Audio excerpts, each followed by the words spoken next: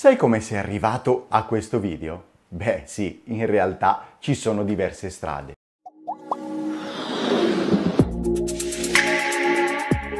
Ma una delle vie più battute è quella di fare una ricerca su Google o in questo caso direttamente su YouTube per trovarlo fra i tuoi risultati. Sono sicuro che quando hai la necessità di trovare una risposta ad una tua domanda, quello che fai è andare su internet e digitare quello che desideri scoprire. Dopodiché ti affidi ai primi risultati che vedi o al massimo a quelli che sono presenti nella prima pagina di Google o del motore di ricerca che hai scelto di utilizzare. Ecco dove deve stare anche il tuo sito web. Sono Mirko Cuneo e oggi voglio parlarti dell'importanza di apparire in prima pagina su Google se hai un sito web o un e-commerce. È una delle variabili principali da prendere in considerazione per essere trovato da un maggior numero di clienti. Prima però, se ancora non lo hai fatto, iscriviti al mio canale e attiva le notifiche cliccando sulla campanella che trovi qui sotto. In questo modo potrai rimanere aggiornato su questo e su molti altri argomenti dedicati agli imprenditori e ai professionisti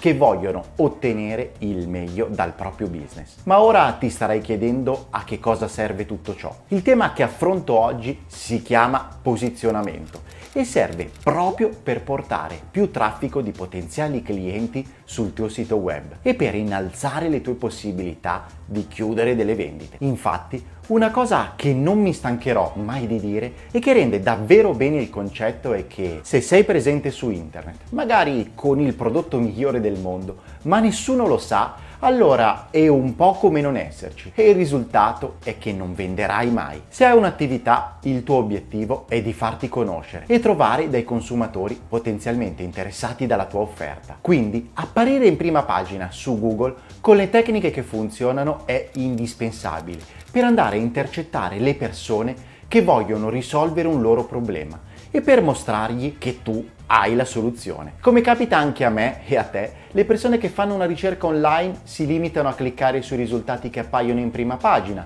molto difficilmente andranno alla seconda quindi figuriamoci se perdono tempo con la terza o la quarta. Su cosa si lavora quindi per far trovare il tuo sito web ai tuoi potenziali clienti? Se per te questo argomento è nuovo, ma anche solo per fare un ripasso e chiarire le idee, i due concetti principali che ti voglio mostrare oggi sono indicizzazione e posizionamento. Sono entrambi dei termini tecnici, ma conoscerli ti sarà molto utile per riuscire a prendere le decisioni giuste per il tuo business. Adesso te li spiego con parole semplici e vedrai che riuscirai subito a comprenderli. Spesso queste due parole, indicizzazione e posizionamento, vengono confuse fra loro, oppure sono usate come sinonimi. In realtà si tratta di due concetti differenti che comportano azioni strategicamente altrettanto differenti fra loro. Partiamo con il termine indicizzare un sito su Google. Significa che il tuo sito web, che prima non era presente in internet, passa ad essere presente e quindi ha la possibilità di essere trovato. Questo indipendentemente dalla posizione in cui si trova. In parole più semplici, prima non c'eri, ora ci sei. È importante che l'indicizzazione sia fatta nella maniera corretta, seguendo i giusti metodi, perché altrimenti potresti avere due problemi. O il tuo sito non appare proprio, oppure appare ma con degli errori di cui potresti non accorgerti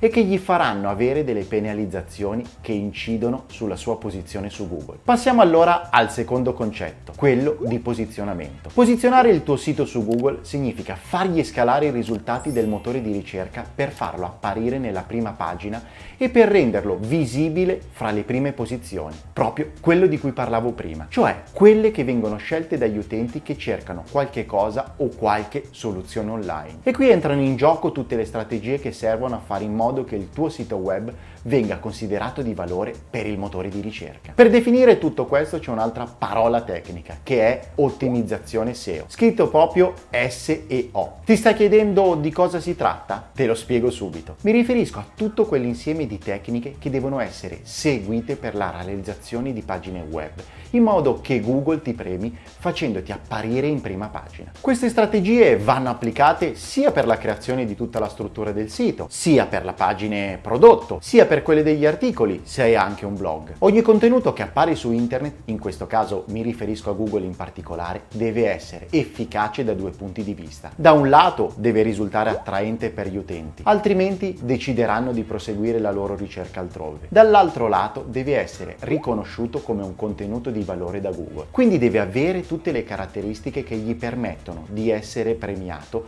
e di scalare i risultati della SERP. Anche questa è un'altra parola specifica e serve per indicare proprio la pagina dei risultati che ti fornisce Google dopo che cerchi qualcosa online. Solo se pensi all'indigizzazione e al posizionamento e fai costruire le tue pagine web con le tecniche giuste, potrai essere presente fra i primi risultati e ottenere ovviamente molto più traffico. Questo si andrà a tradurre poi con maggiore notorietà, acquisizione di potenziali clienti, successiva conversione e ovviamente aumento delle vendite. Bene, adesso che abbiamo chiarito l'importanza di avere un sito web che venga trovato dagli utenti, vediamo le tre variabili principali che servono per farti premiare da Google e per trattenere i tuoi potenziali clienti. Variabile 1, l'estetica e la struttura di ogni pagina. Per prima cosa ti devi assicurare di avere un sito web ben strutturato, ovvero che sia facile e intuitivo da navigare. È importante che gli utenti capiscano subito dove andare per trovare le informazioni che gli servono. Se il potenziale cliente non capisce, la prima cosa che fa è andarsene per passare al risultato successivo. Un'altra cosa che dà valore al tuo sito agli occhi delle persone è proprio il come si presenta. I gusti si sono evoluti e le persone sono attratte da determinati standard di bellezza. Se questi standard sono riconosciuti all'interno del tuo sito, allora gli utenti saranno più disposti a fermarsi. Inoltre, se il tuo sito è ben strutturato in maniera gerarchica e logica, anche Google riuscirà a leggerlo e ad andare ad interpretarlo. Un po' come per gli utenti. Se Google capisce e trova contenuti di valore, allora premierà le tue pagine. In caso contrario, darà rilevanza purtroppo ai siti dei tuoi competitor. Un'altra cosa importante è avere un sito web veloce, cioè con pagine che si caricano in fretta, cioè meno di 3 secondi e che sia visibile molto bene anche dagli smartphone. Infatti, la maggior parte delle ricerche oggi avvengono da telefono cellulare. Passiamo alla variabile numero 2 2. Le parole chiave. Un errore comune che durante la mia esperienza lavorativa ho notato che fanno in molte aziende è di tentare di ottimizzare una pagina con la parola chiave sbagliata o peggio ancora senza sceglierne una. Innanzitutto una parola chiave è un termine formato da una o anche da una serie di parole che evidenzia il concetto per il quale vuoi essere trovato. Un esempio renderà tutto subito più chiaro. Immagina di occuparti di abbigliamento. Una parola chiave potrebbe essere abbigliamento estivo uomo e ti servirà per costruire una scheda dedicata alla vendita di indumenti per gli uomini in estate. Ovviamente ogni attività ha le proprie parole chiave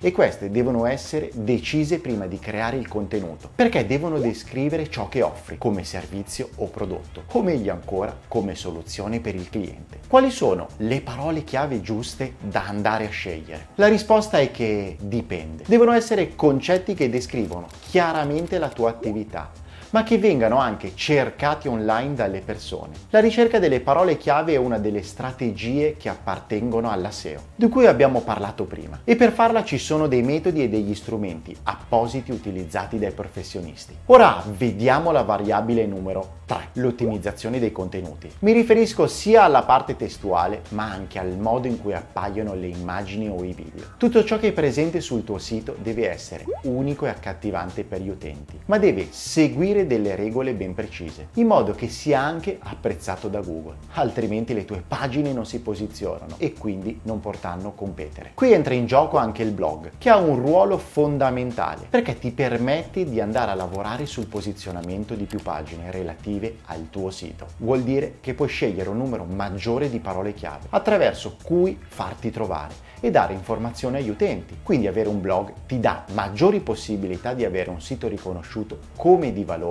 e per apparire nella prima pagina di Google. Inoltre è importante quello che c'è scritto nei tuoi articoli, perché le persone cercano online le risposte alle loro domande. Se non le trovano, sai cosa succede? Semplicemente chiudono la tua pagina web e passano ad un'altra. Tenere attiva l'attenzione delle persone e anche quella di Google è diventato sempre più difficile. Ma fra le tante cose è proprio ciò che ti preme di più. Insomma, quella del posizionamento è una scalata difficile e piena di giudici, ma se agisci nel modo corretto funziona e porta grandi risultati. Facciamo quindi un piccolo riepilogo delle tre variabili principali che ti servono per posizionare il tuo sito sui motori di ricerca. 1. Fai attenzione all'estetica e alla struttura di tutto il sito. 2. Seleziona le giuste parole chiave. 3. Pubblica contenuti ottimizzati e di qualità. Se sei arrivato fin qui hai capito tutto ciò che è necessario fare per apparire in prima pagina su Google. Ora bisogna solo farlo. L'indigitizzazione e il posizionamento sono due fattori delicati da trattare